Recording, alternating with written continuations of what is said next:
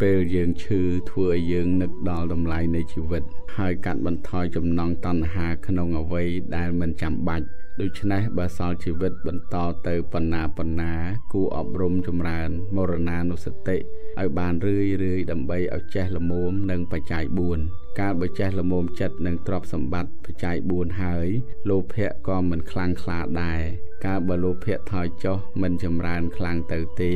ក៏មិនបៀតបៀនដល់សង្គមជាតិឬដល់បុគ្គលដទៃណាឡើយ ជាមនុស្សគួរតែបានសប្បាយចិត្តចំពោះលទ្ធភាពដែលខ្លួនមាន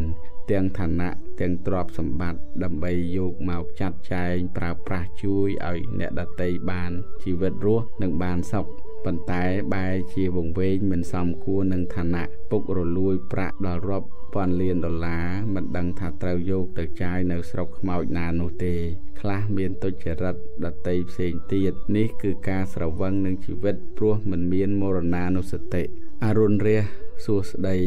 មិនសូមអ្វីណាទេ សូមតែសួតទាំងទ្វេនៅទំនេរគ្មានគូវិតសោករលឹក ក្រោកព្រឹកឡើងនៅត្រង់យើងរីករាយចិត្តគ្មានអ្វីល្អប្រណិតត្រឹមពេញចិត្តពិតជាសុខពេញចិត្តនឹងមិត្តបុណ្យបូជាគុណធ្ងន់គ្រប់មុខទាំងគុណម្ដាយឪពុកគុណម្ចាស់ស្រុកគ្រូឲ្យចេះគុណបុណ្យពីជាតិមុនព្រមទាំងបុណ្យក្នុងជាតិនេះ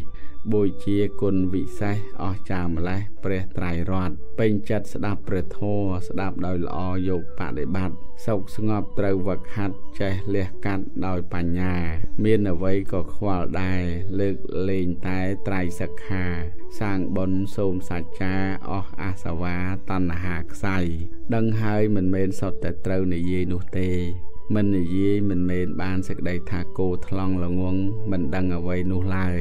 យើងអាចមិនដឹងខ្លួនឯងថាកាចសាហាវប៉ុណ្ណាព្រោះយើងមិនបានប្រហារអ្នកដតីដោយដំបងឬអាវុធដតីប៉ុន្តែគំនុំគុំស្អប់នឹងពាក្យសម្ដីធ្វើឲ្យអ្នកដតីឈឺចាប់ផ្លូវចិត្តបាត់បង់កិត្តិយស ជីវិតដែលមានតម្លៃគឺជាជីវិតដែលខ្លួនយើងជាមនុស្សមាននៅគុណតម្លៃហើយធ្វើជីវិតរបស់អ្នកដតីឲ្យមានគុណតម្លៃផងដែរមិនមានអ្វីដែលយើងសន្សំហើយមិនមែនជាភារៈនោះឡើយលើកលែងតែសេចក្តីល្អប៉ុណ្ណោះឥឡូវមនុស្សយើងខ្លាចឆ្លងកូវីដ19ទៅមិនហ៊ានប៉ះពាល់គ្នា បរិភោគរួមគ្នា និយាយចិត្តគ្នាប៉ុន្តែមិនធ្លាប់ខ្លាចរាគៈ